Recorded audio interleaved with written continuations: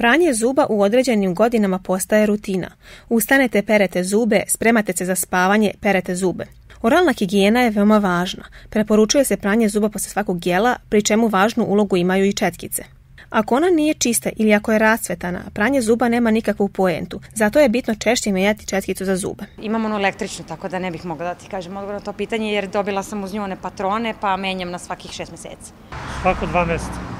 Pre nedelju dana. Kupila sam novu jer sam skoro stavila protezu pre nedelju dana i tad sam kupila... Na tržištu je velika ponuda četkica, zubnih pasti, tečnosti za ispiranje usne duplje i svaki od tih proizvoda može i tekako biti koristan za naše zube i desni. Najčešće je obično, verovatno je tu bitan i finansijski moment, pošto su električne malo skuplje, skuplji su nastavci, tako da se pre odluče za ove klasične četkice.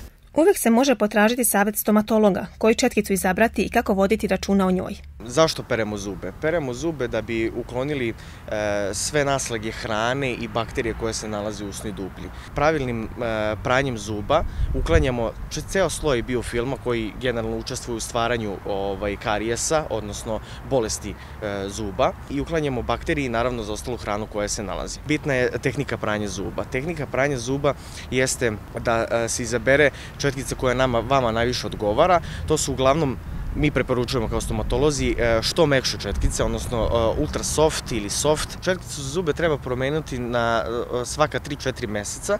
Zbog čega? Zato što njena vlakna ne mogu više da, da, da izdrže te, fizičke napore, odnosno mehaničke ili, ili mašinske napore i ona počinje da se rastvetava samo po sebi. Savjet je da četkica uvek bude čista i suva. Možete dezinfikovati vodicom za ispiranje usta ili alkoholom.